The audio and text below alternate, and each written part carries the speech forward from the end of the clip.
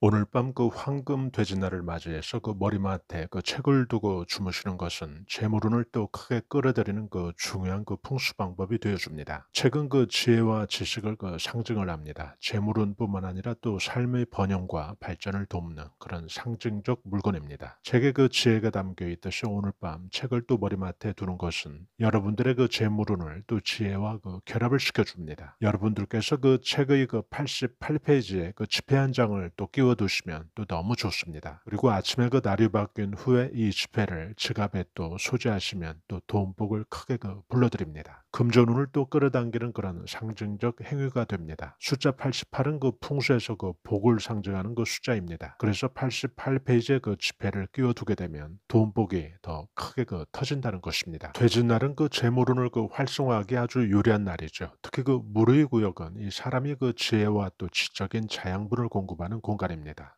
돼지의 암시에는 그 물의 구역이라는 그 암시가 또 함께 결합이 되니까요. 물의 구역의 그 암시가 돼주고 있는 이런 황금 돼지 날, 밤 시간은 그 금전운에 또 충전에 유리한 또 물의 시간이죠. 이렇게 그 지혜의 상징인 그 책을 머리맡에 또 이런 황금 돼지 날 또 가까이 배치를 하고 주무시면 그때 그 돈복을 또 크게 끌어들입니다. 아시다시피 또 책은 그 오행 목기운의 상징이죠. 목기운이 관장하는 게 바로 돈복의 성장입니다. 이렇게 되면 그 물처럼 금전운을 유입 유입시키고 오행그 목기운처럼 돈복을 성장시키는 그런 그 암시가 또 모두 실리게 됩니다. 또 직접 그 오행 목기운인 이 책 속에 구체적인 그 숫자의 페이지, 즉 88페이지에 이렇게 그 지폐를 넣어둠으로써 이때는 그 시각적이고 보다 그 구체적인 돈복을 끌어당기는 그런 풍수 의식이 되어준다는 것입니다. 오늘 밤 책을 그 머리맡에 두고 이 황금 돼지 날 크게 그 행운을 껴안아 보시기 바랍니다. 그때 집안으로 들어오는 그 재물로는 또 큰 폭으로 또 달라질 것입니다.